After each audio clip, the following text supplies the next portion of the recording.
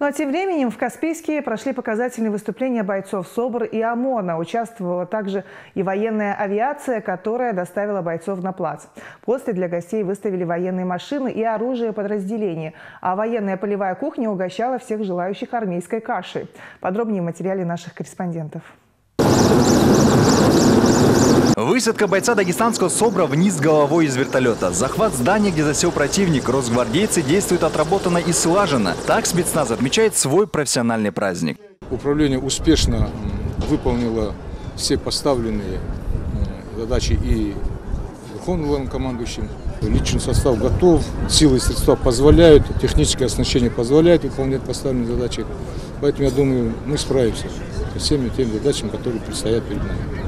На праздник пришли родственники и знакомые бойцов. Для них росгвардейцы устроили показательные выступления. Личный состав прошел торжественным маршем под руководством Героя России начальника управления Росгвардии Республики Дагестан Магомеда Бачилова. Здесь и военная техника, и оружие бойцов подразделения. 1159 лет. То есть с момента образования российской государственности с 862 года.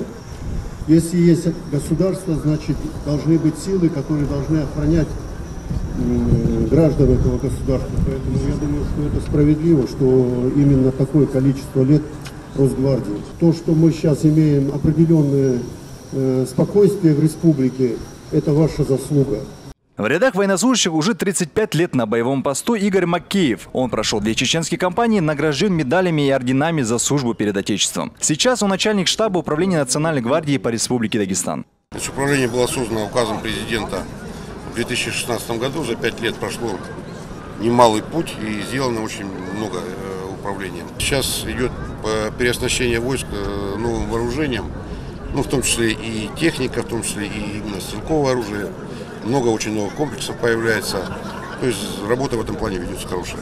Перетащить в зубах 100-килограммовый снаряд, согнуть толстый кусок металла для него плевое дело. Амар Ханапиев, многократный рекордсмен книги рекордов Гиннесса, специально для Росгвардии изготовил и подарил праздничное панно. Росгвардейцы угостили всех приглашенных блюдами военной полевой кухни, а все желающие могли осмотреть и прикоснуться к боевому оружию и технике. Владимир Розакаев, Махарбек Амариев, Рамазан Амаров. Время новостей Каспийск.